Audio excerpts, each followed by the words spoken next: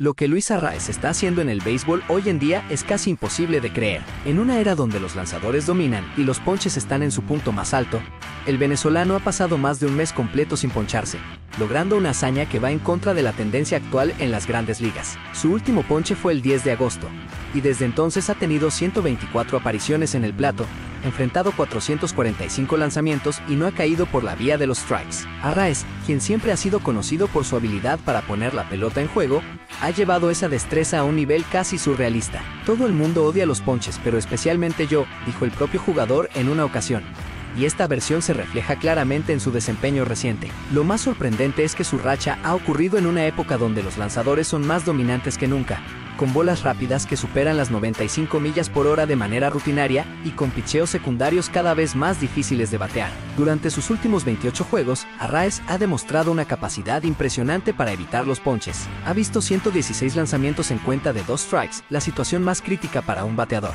De esos, ha hecho swing a 91 lanzamientos y ha logrado hacer contacto en cada uno de ellos. Este nivel de precisión y control del bate es casi inaudito en el béisbol moderno donde los ponches son frecuentes y los lanzadores están diseñados para sacar outs de esta manera. Parte de la estrategia de Arraez se basa en su paciencia al inicio de cada turno al bate. A pesar de que no es conocido por ser un gran bateador del primer picheo, deja pasar el 83% de las veces el primer envío lo que lo convierte en uno de los jugadores más pacientes en este aspecto. Este enfoque inicial le permite observar el repertorio del lanzador lo que es crucial para ajustar su swing en los siguientes lanzamientos. Un ejemplo reciente de esta táctica sucedió contra George Kirby, lanzador de los Marineros de Seattle. Kirby lanzó una recta a 97 millas por hora en la esquina interna del plato, la cual Arraez dejó pasar sin problemas. Sin embargo, en el siguiente lanzamiento Kirby repitió con otra recta a 97 millas por hora, esta vez más centrada. Arraez no dudó y conectó un sencillo, demostrando su capacidad para ajustar su enfoque y hacer contacto con precisión.